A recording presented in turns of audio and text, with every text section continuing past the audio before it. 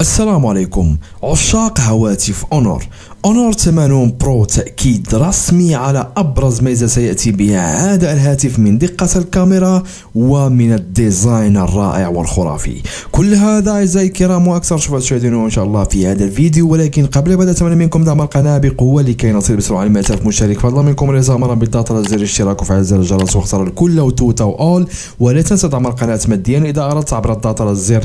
تشكرات. ميرسي. أو Thanks تابع الفيديو حتى النهاية.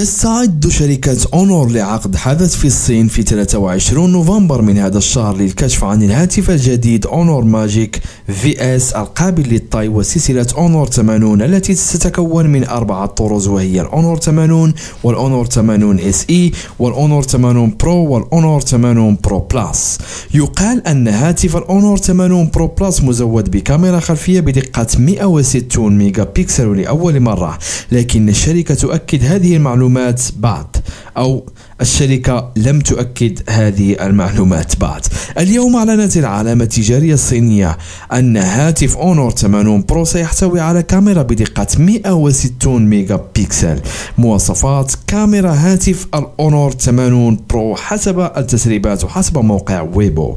كشفت شركة Honor في منشور عبر موقع Weibo كما ذكرت ملصق يظهر هاتف ال Honor 80 Pro مع وحدة كاميرا أمامية مزدوجة في أعلى منتصف الشاشة. تقول الشائعات أن Honor 80 Pro Plus سيحتوي أيضا على كاميرا مزدوجة والتي ستكون مزيجا من وحدتين بدقة 50 ميجا بكسل وفقا للملصق التشويقي يفيد النص المكتوب على الصورة أن كاميرا الهاتف تدعم ما يصل إلى 160 ميجا بكسل ويشير أيضا إلى أن Honor ستستخدم مستشعرا منخفض الدقة لالتقاط صور بدقة 160 ميجا بكسل مع حيل برمجية. لم تؤكد شركة Honor صراحة بعد وجود هاتف Honor 80 Pro Plus من السلسلة ولكن نظرا لأن منشورها على Weibo يستخدم كلمة سلسلة أو series للترويج للكاميرا التي تبلغ دقتها 160 ميجا بكسل في السلسلة فإن هذا يؤكد بشكل أساسي أنه سيكون هناك أكثر من هاتف واحد في سلسلة ال Honor 80 يتميز بكاميرا بدقة 160 ميجا بكسل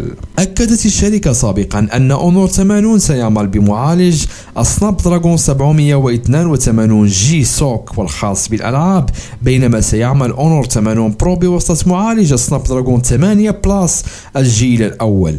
ستعمل جميع الهواتف في السلسلة بنظام Magic OS ومع الأندرويد أيضا.